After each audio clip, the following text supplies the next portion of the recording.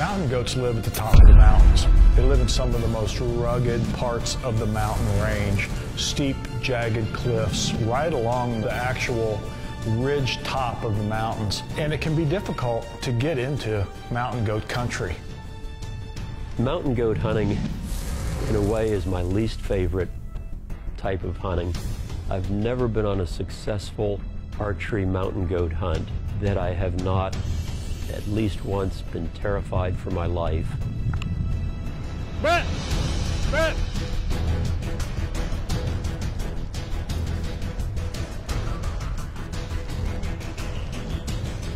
It was a good try, huh, Brett? It was a good try. We were that close. That's as close as you can get without not getting one. In horrible weather. It's about a three hour walk back to the tents. Brett! Brett! Good try. That's why it's mountain goat hunting. It ain't easy. Kill arrow. We're gonna put it in something. They can be very, very difficult to hunt. They live in some uh, very difficult, very, very steep terrain. I've never been on a successful mountain goat hunt that I didn't have to spend at least one night out unplanned with no uh, tent, sleeping bag, anything like that.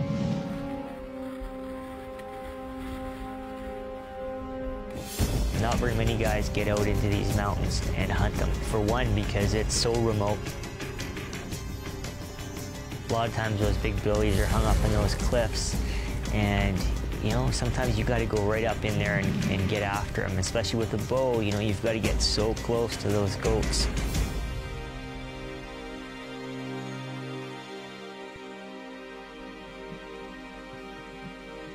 Mountain goats sort of like sheep hunting, except um, I think the goats live in much steeper and more dangerous areas than, than, uh, than sheep do.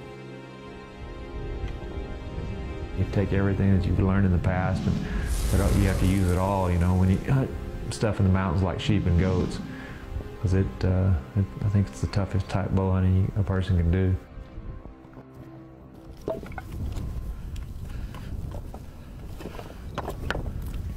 You spot a mountain goat that you can get up on and you work at it, they're fairly easy to stalk into range on. They're bigger than you think they are, and they offer a fairly large kill zone, but they also live on cliffs. And if you make a shot on a mountain goat, it's possible that it could fall off a cliff, and it's happened to me.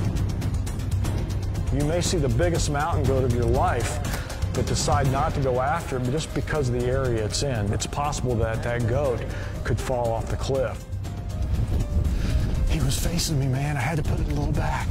He's he's hit good though. One of the other problems with a goat is uh, doing one of these down the mountain and breaking the horns off.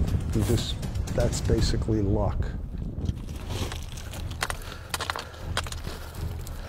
We climbed back in there the next morning, and sure enough, he had fallen off the cliff, thousand feet straight down. Just slow down. Oh, Brad, look at that. He's pretty banged up, all right. Look at that. His horn's broken off over here, bent down. This end tip's broken off. The wonder it isn't worse. Oh man, just disappointing. It's a shame. Yep. You're such a beautiful animal. Uh, mountain goat hunting is uh, in the most rugged country there is. Let's face it. You know, it's straight up here. And if you can see behind us, that cliff, we arrowed that goat up on the very top there. Another thing that you don't think about on a mountain goat hunt that, that exists and is difficult is the brush line that you must traverse to get into the alpine. And as you climb up and have to go through the alder patch and go through the thick brush to get up into the alpine, you're going to find out that it's not only steep and slippery, but it's just incredibly tangled. I think you can come right over on the top of him. I can. Craggy over there too, backing along that side. Yeah, that should provide some cover for us. I'll put on my suit and I'll try to get down below keep. We used a trick in our hunt that really made it successful, I think. And what happened was, was Dennis put this white suit on, and basically crawled on all fours out below the goat.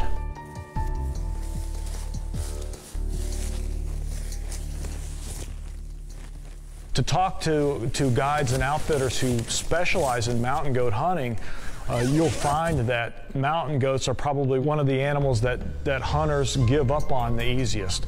In other words, a hunter will take a bow and go on a mountain goat hunt, and on the second day, shoot it with a rifle, the guide's rifle, and just be done.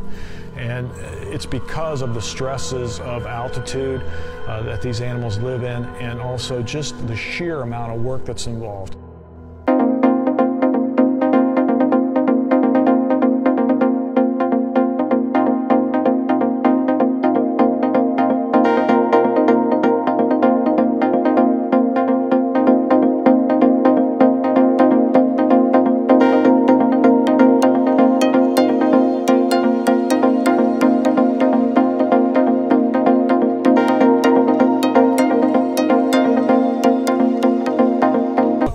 And I could see him running down below. And he ran down into a little creek area and disappeared.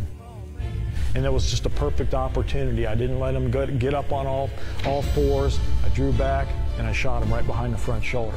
He jumped off of this cliff right there, just bailed off. When Dennis come up to the top and he goes, he goes, what, what happened? What happened? I said, we got us our goat, Slippery. man. We got him. He's huge. And he's down. Look at this big mountain goat. He's a billy and he's snow white. He's got big, thick hair. It's almost like a lion's mane here. And look at his beard. Look at the horns. Mature Billy. Mountain goats, they live in some of the toughest country on the planet. I would really urge anybody who was thinking about going on a sheep hunt to try mountain goat hunting first. Well, for one, it's a lot less expensive, and another thing is it's just like sheep hunting. So if you can be successful with a bow and arrow on a mountain goat, you're going to be successful on a sheep hunt. So it's, uh, it's an awesome, awesome experience.